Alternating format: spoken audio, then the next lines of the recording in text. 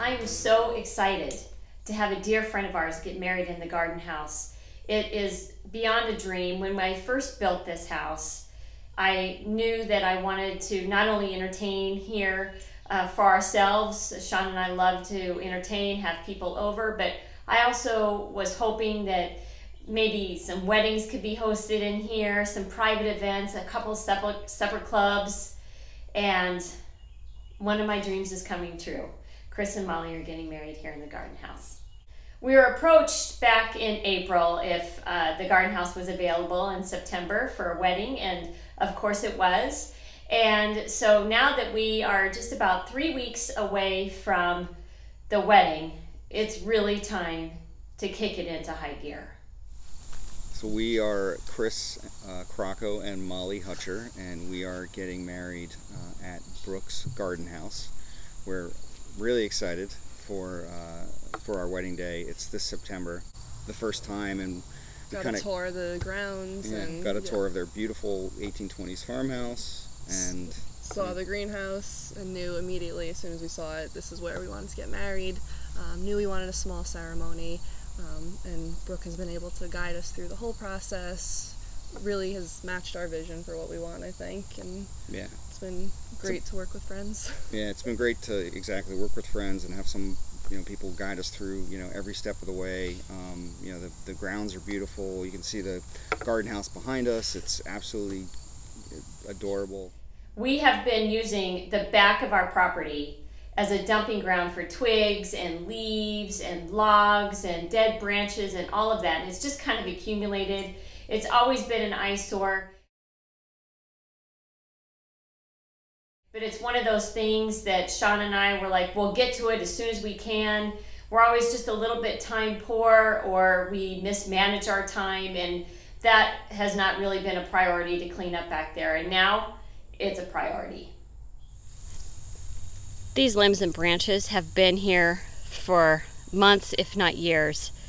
And we've just been adding to it, embarrassingly to say, or just have been not making the time to clean it up. But it's getting cleaned up starting today. So, all of this. So, since Sean has been gone this summer, and now that he is back to work on Broadway at the Broadway show Hamilton, it's pretty much me during the day to really get this into shape. And I know that he helps as much as he can, but now that he's back to work, uh, it's I'm hitting it into full gear. So I've called my friend Athena, who is not only our arborist, but my saving grace. Hello. Uh, I've taken down a couple trees in, on in on the property. Brooke asked me to come and just you know kind of clean up the edge of the yard because every you know all the branches and leaves just get pushed back that way. And uh, the other day we cleaned up a big, uh, up a big pile down on the other end. So I decided this way I was gonna you know start from farthest away and work my way towards where we already cleaned up.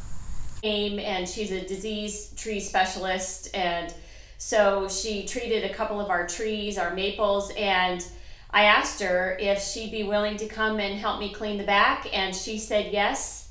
And she did. She has been working like crazy. And so I have her here today to start out cutting some logs for us that we have in our driveway from a couple trees that we have put down or cut down. And uh, we're going to split them. So Athena is kicking it into gear in the driveway, getting that ready to go, and then we're going to hit the backyard and really start cleaning that out.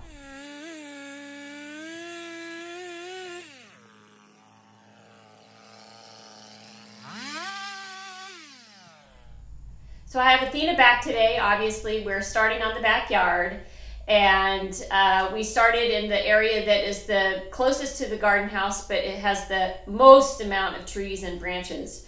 So uh, we've organized everything by logs, uh, little branches, and twigs, and then we also have a path back to some mulch. So uh, that's how we're going to do, and we're just going to clean as we go. She's got her chainsaw in action, and we are just taking and cutting and piling and uh, getting whittling down that pile.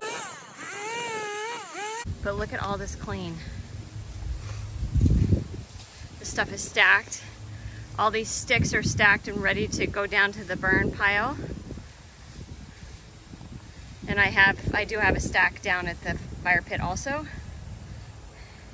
Athena's saying hello. But I'm pretty flippin' proud of ourselves and I am just beat because now I've been up 14 and a half hours, but unbelievable, right? Looks so good. And look, she made a chair. I love it.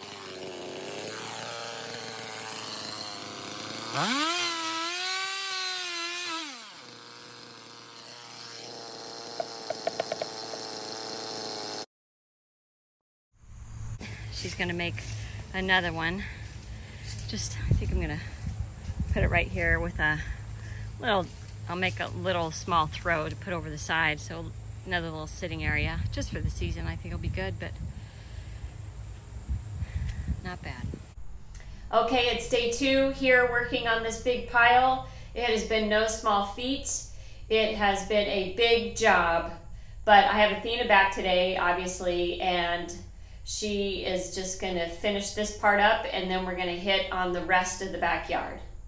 And just organize as I go, and uh, you know that way it stays a lot. It like you clean as you go.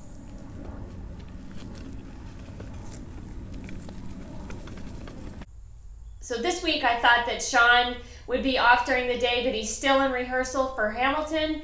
So I've called Athena and she is back here helping out and just kicking it out of the park. I she is my savior. She's worth her her weight in gold and honestly, I just don't know what I would do with this wedding prep without her. She's been my saving grace. Current situation here in the backyard. We are on this area. Athena and I have cranked it out today. We've gotten most of this area clean right here. And we've gotten all of these areas clean. So that's great. She's going to trim up these trees for me and these bushes, which is going to be great. And we'll finish this area and then we've got that one to go. And I think we can call this a day after that. Next on Garden House 1820 The Wedding Prep, we are designing, laying out, and building a path all in one week with a couple hiccups along the way. Stay tuned.